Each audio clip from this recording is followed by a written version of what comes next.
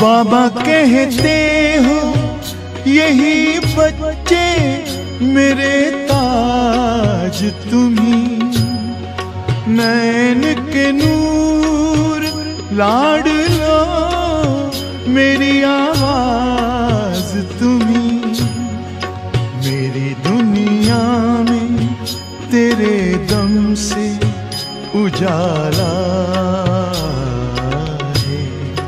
तुम्हारे साथ का अनुभव बड़ा निराला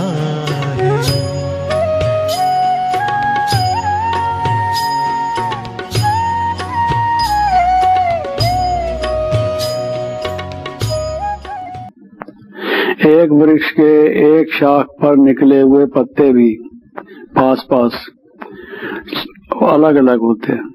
पीपल का पेड़ है ये पीपल के पेड़ के पत्ते हैं। एक बच्चे को कहो ड्राइंग कर दो, वो भी कर देगा। सब में कुछ जनरल एक जैसी प्रकृति होती है, लेकिन फिर भी एक नहीं मिलता दूसरे से। अलग अलग है। तो ये अलग अलग जो वैरायटी है, इसी से वैरायटी ड्रामा बनता है। जैसे बगीचे में अलग अलग फूल हो अलग अलग फल हो। संसार में अलग अलग पक्षी हों अलग अलग फ़सलें हों तो अलग अलग होने से संसार की शोभा है, ये खेल बनता है। उसके बिना ये खेल नहीं चल सकता। ये जो प्ले है, ड्रामा है, ये नहीं बन सकता।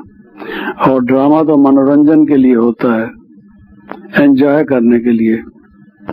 हर कोई उसमें पार्टिसिपेट करना चाहता है। तो ये ड्रामा तो हो नहीं सकता। और क्या करेंगे? तो ये इनबिल्ट है। इनबिल्ट क्या है? कि इस ड्रामा में आत्माएँ अनादि अविनाशी हैं, और अलग अलग संस्कार अलग अलग विचार अलग अलग कर्मों वाली है। इसको आप चेंज नहीं कर सकते। ये चीज़ इन बिल्ट है। ये बनी बनाई है। बनी बनाई ये बात है। ये किसी ने बनाया नहीं इनको। परमात्मा ने बनाया नहीं, या किसी और ने कुछ इनको बनाया नहीं। ये स्वभाव से ही अनादि और अविनाशी है। तो ये इससे व्यक्तिवाद होता है। इंडिविजुअलिज्म अलग अलग हर किसी का सोचना अलग अलग है। तो फिर क्या नतीजा निकलता है? हर कोई अपना अपना सेल्फिश होना शुरू होता है। अपना अपना स्वार्थ पूरा करना शुरू करता है। अलग अलग होने से। अलग अलग होगा, अलग प्रॉपर्टी चाहिए, अलग भोजन के सामान चाहिए, उसको अलग अलग साधन चाहिए। तो अलग अलग साधन होने से वो दूसरों के भी अलग अलग चाहिए। तो क्लैश होने की संभावना होती है। जब अलग अलग चाहिए तो। तो अलग अलग की जहाँ ब्यूटी है, खूबी है, वो इन बिल्ट उसके मेरिट्स हैं। वैसे ही अगर वो रूप बदल लेता है तो वो डीमेरिट बन जाता है। वो फिर नुकसानदेह हो जाता है। दुनिया में जो कला क्लेश हैं, वो इसलिए है कि उसमें इंडिविजुअलिज्म है।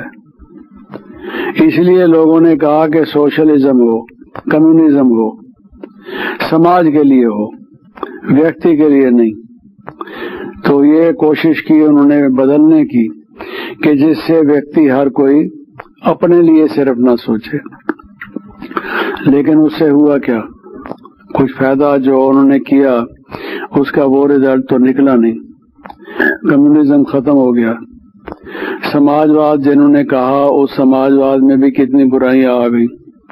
अब दुनिया में जितनी बुराइयाँ हैं इंडिविजुअलिज्म से भी बुराइयाँ हैं। अब ये सारा करप्शन है। कल आर्मीनिया में उन्होंने मेरे प्राइम मिनिस्टर को मिनिस्टर्स को मार दिया। क्यों मार दिया? कहते हैं ये करप्ट है।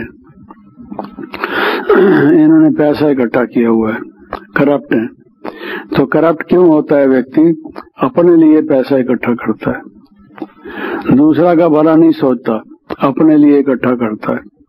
ये करप्शन क्यों है? ये भी सेल्फिशनेस का एक रूप है, अपने लिए। तो ये बाबा जो कहते हैं, मेरा तेरा छोड़ो, बच्चे, मेरा तेरा छोड़ो, ये दुनिया में सारा झगड़ा मेरा तेरा का है। जो व्यक्तिवाद ने इंडिविजुअलिज्म ने ये रूप ले लिया, स्वार्थ का सेल्फिशनेस का तो उस सेल्फिशनेस से सारी बुराइयाँ पैदा हुई। ये मेरा बेटा है, फला बेटा तेरा बेटा है, इसलिए मुझे ये मेरे बेटे के लिए चाहिए। दो भाई आपस में होते हैं, एक के एक बच्चा है, दूसरे के दो बच्चे हैं। बिज़नेस में दोनों भाई पार्टनर हैं। और आपस में जब बड़े बच्चे हो जाते हैं, वो कहता है, मेरे बच्चों को भी इसमें पत्ती दो, पार्टनर बनाओ। कहता है, बना लो। एक बेटा तुम्हारा, एक बेटा मेरा, पार्टनर बना दो। कहता नहीं, मेरे तो दो बेटे हैं। दो बेटों को पार्टनर बनाओ। वो कहता है, दो को तो नहीं बनाऊँगा, एक को बनाऊँगा। लड़ाई हो जाती है, झगड़ा हो जाता है। तो ये मेरे दो बेटे हैं, इनको पार्टनर बनाओ। ये तेरा एक बेटा है, तुम उसको बनाओ। तो आप देखेंगे, सारे झगड़े का कारण क्या है? मेरा तेरा। ये मेरा देश, ये तेरा देश। ये मेरे रिश्तेदार, ये तेरे रिश्तेदार। नेपोटिज्म जिसको कहा जाता है, कुंभाबाद, भाई भतीजाबाद ये मेरा भाई और भतीजा है, ये तेरा भाई और भतीजा है। हाँ जी। तो ये संसार में मेरे तेरे को लेकर ये सब कुछ होता है, व्यक्तिवाद का। इससे मनुष्य का अगर सेल्फिशनेस हो जाता है, स्वार्थ हो जाता है मतलब ही बन जाता है तो ये इतनी बुराइयाँ, बुराइयों का जो सारा वृक्ष है, कल्प वृक्ष से भी बड़ा है।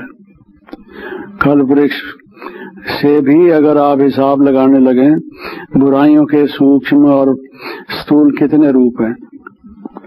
वो अनेक प्रकार के रूप हमारे सामने आते हैं।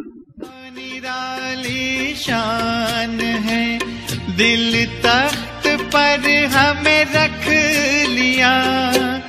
खुद से ऊँचा मान देकर नाम दिल पर लिख लिया।